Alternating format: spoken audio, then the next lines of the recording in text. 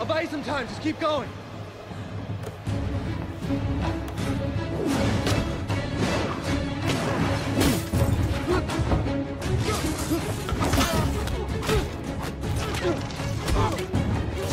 Damn!